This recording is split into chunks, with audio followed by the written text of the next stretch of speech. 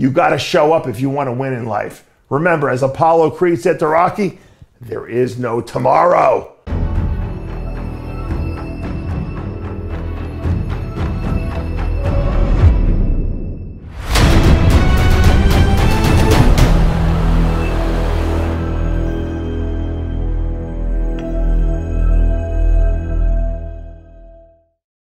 I created Species Nutrition with one mission in mind to provide bodybuilders and serious athletes with no nonsense supplements that work. I put my name and reputation on every bottle of Species Nutrition products. If you want to be your absolute best, join the evolution.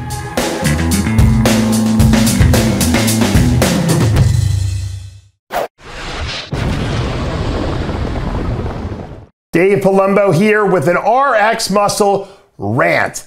Today's topic is going off cycle. I know we hate to hear that. Oh, don't even say that, Dave. I don't want to hear that. I want to talk about it. I don't want to know about it. But you know what? No one wants to know about it, but everyone wants to know about it because no one wants to admit that they have to do it. But when they realize they do have to do it, they want to know how to do it properly. So, one of the most frequently asked questions I get is PCT, post cycle therapy. What do I do? How do I do it? Should I stay off? Should I cruise on Anavar? Should I stay on HRT to bridge my cycles together? The answer, as you know, if you know any of my videos, is invariably no. No bridging, no cruising, no whatever you want to call it. You can make up 10 more names for it. The answer is no. When you're off, you're off. That's it. So let's say you just finished a competition, for instance, or you finished a long mass off-season cycle. You haven't been off in almost a year. You got to clean out. You know it's time. And you're saying to yourself, what do I do?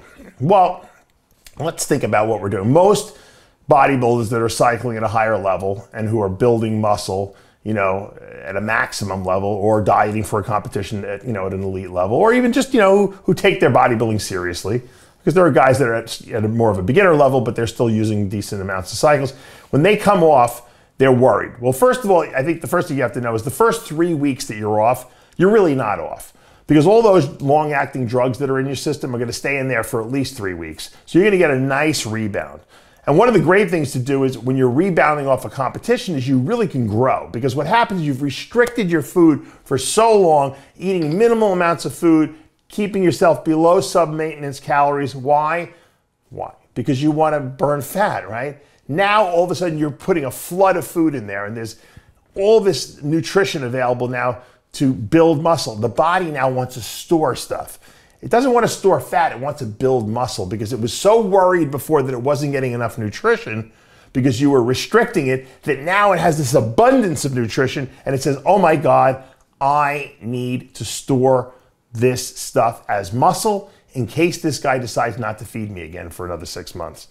And that's really that's really what causes the anabolic rebound. People don't know. They think, oh, it's some kind of magical, you know, thing that happens inside the muscle. No, the body is just goes from starvation mode to now it says store, store everything.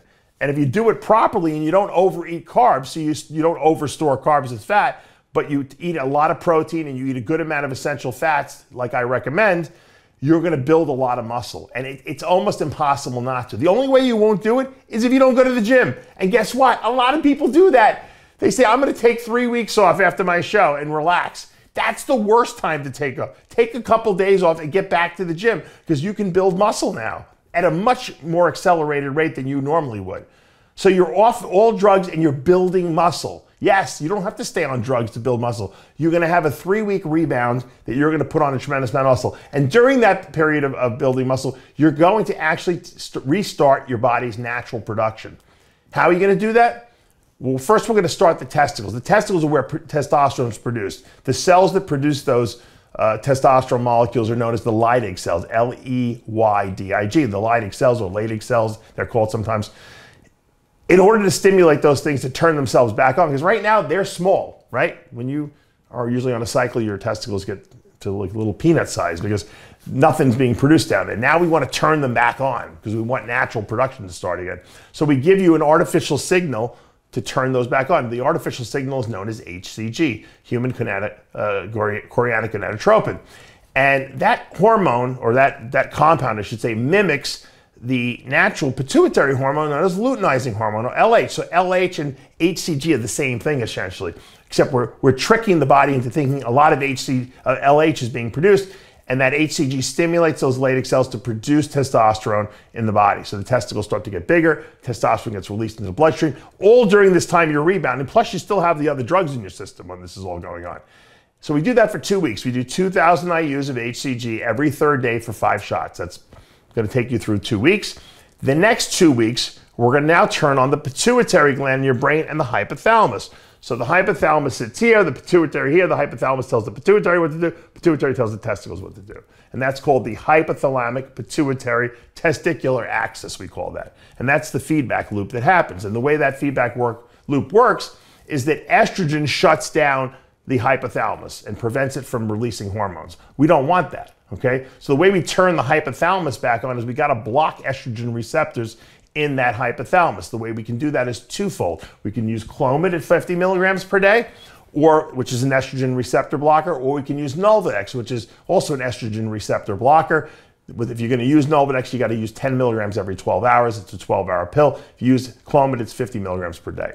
And what that does is it sits in that hypothalamus and it blocks those estrogen receptors. When those are blocked, now, because estrogen is what shuts down that hypothalamus, now the hypothalamus will start producing a hormone known as gonadotropic releasing hormone.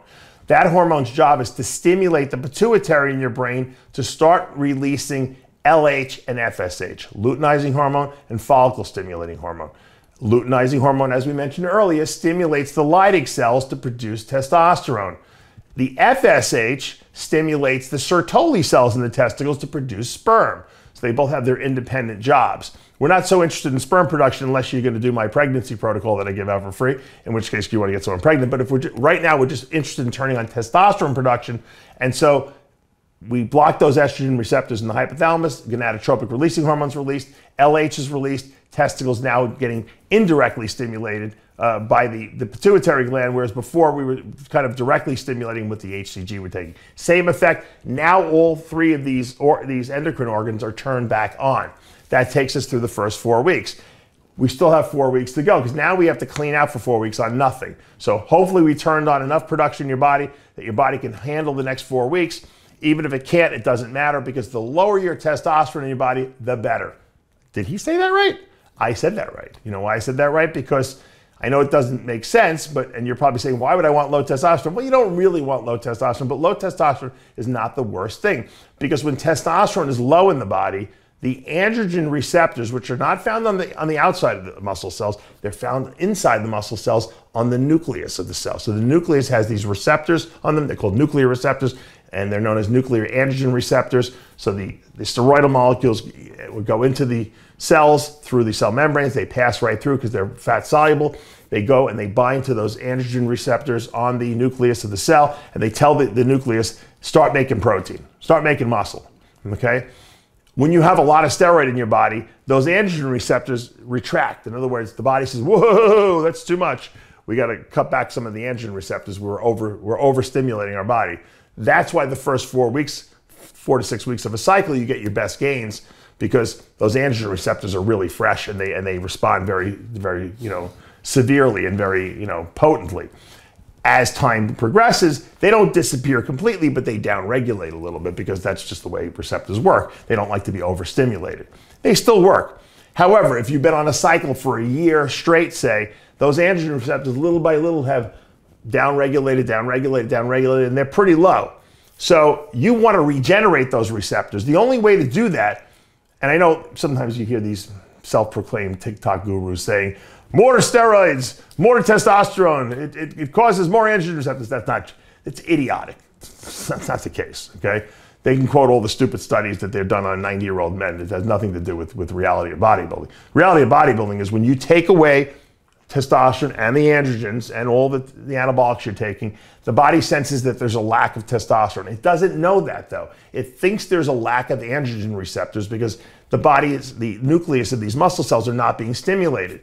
So it doesn't know there's not enough testosterone. It thinks, oh, we got to produce more receptors because we're obviously not responding to the drugs that have been there all along. So the body starts cranking out more androgen receptors. And over that next four weeks, you know, that you're on nothing, your body is maximizing androgen receptor density. So that when you do go back on at week 8, 9, 10, whatever you decide to go back on, androgen receptors are fully receptive at this point. Your body's detoxed. And when you go back on a cycle, you're going to respond very, very vigorously. Much greater than if you had not gone off. You stay on HCG, excuse me, if you stay on uh, hormone replacement doses or you bridge with other steroids, you're never going to get that regeneration of those androgen receptors. They're not going to come back. You might hold on to a little bit, you might look a little more pumped in that four, or eight weeks you're off. Who cares though? It's only, it's a short period, it's an off season. Think about the gains you're going to make for the next eight months by going off that four to eight, you know, that, that eight week period. You're going to make tremendous gains. So don't think short term, think long term. Short term, sacrifice long term gains. All great spiritual, physical, intellectual, financial gains that are made in life have always are always preceded by somewhat of a fall, meaning you have to fall backwards a little bit to rise up higher. Okay? And if you can't accept that fact about life, you're never going to be very successful. It happens. You got to take a few steps back to jump a leap forward. If you always keep trying to go forward and are afraid to take a step back and, and, and think about what's going on for a second or you know reformulate the plan, you're going to fail. It's, it's inevitable. And people who are scared, okay, by doing things by the right process will also fail. I hear people complaining, oh, I feel so terrible. I don't have a sex drive. I, don't, I can't eat. I can't go to the gym. Guess what? The off season or the off cycle is what separates the champions from the losers because champions find a way to get it done. Dorian Yates, 97 Olympia, should never have been there. Tore two muscles, lost almost all the blood in his body, had transfusions. He somehow got to that show and won that show. Whether you believe he should have won or not, he won it. It's his sixth Olympia title. He showed up. You got to show up if you want to win in life. Remember, as Apollo Creed said to Rocky, there is no tomorrow. You can't put off today what you think you'll do tomorrow, a month from now, a year from now. Do it right now. Now is the time. You don't feel like going to the gym in that morning because you're tired. Get your ass to the gym because that'll be the most important workout of your life. If you feel like, oh, I don't, I don't have the drive, I should, I can't go to the, I have a sniffle and I have to stay home in bed. Guess what? The guys that are getting their ass out of bed and going to the gym, those are the guys that are passing you now because you're, you're missing two weeks in the gym because you think you got a cold. Come on. You only should miss the gym if you have a fever. Fevers are, are, are a legitimate reason for staying home. You're not going to make improvements in, when you have a fever. But don't look for every little excuse why you missed your. I have people that send me every single week excuses why they can't hit their mark, why I didn't eat the diet properly, why I didn't get my cardio done, why I couldn't get to the gym. I have a, pain in my ass, you know, I have hemorrhoids, I have a sniffle, I have sinus infections, I have. I've heard it all. And then I hear guys that have a lot of shit happen to them and they don't complain. They're like, yeah, this and this and this happened to me, but I got to the gym. This and this and this happened to me. I got every meal in. I worked 24 hours straight, but I didn't miss a single meal. You know, I got my cardio in too, you know, on my lunch hour. Those are the champions. Champions get it done today, not tomorrow. So be smart. Yes, you should do your PCT. Very important. Do your HCG, do your Clomid. Oh, another thing, I always tell, I always put all my clients on my Testalize product because another thing that happens when your body starts producing its own natural testosterone, it can convert a certain percentage of that testosterone into estrogen, and a certain percentage of that testosterone can convert to DHT or dihydrotestosterone, which is responsible for acne, hair loss, prostate enlargement, all that stuff that we don't really want. So, especially when you're off, it's a good idea to stay on some, a product that will balance your testosterone, meaning keep testosterone as testosterone, optimize it. That's why I call Testalize a, te- a testosterone optimizer. You take three pills twice a day, and it, it prevents testosterone from converting into DHT at high levels. A little bit will, but it won't. It, it, stops the excessive conversion. So you're keeping more of your natural testosterone as testosterone. It also will bind estrogen up and pull excess estrogen out of the body without bottoming out your estrogen. And it also directly has an effect on optimizing your natural release of testosterone in your body. So When people are on that off, that eight week off period or 10 week off period, I have them take Testalize three pills twice a day all the time. If you're a natural athlete, I would stay on it year round. Once again, there is a science to going off cycle, and there is a reason why you're going off cycle because we want to optimize those androgen receptors. We want them to replenish themselves in high numbers. Plus, we want to give the body a chance to detoxify itself. You must take a step back, remember, to take 10 steps forward. That's how it works. Listen, I I made some incredible gains over the course of my career. From 1992 to 1997, okay, was it five years? I gained 100 pounds of muscle.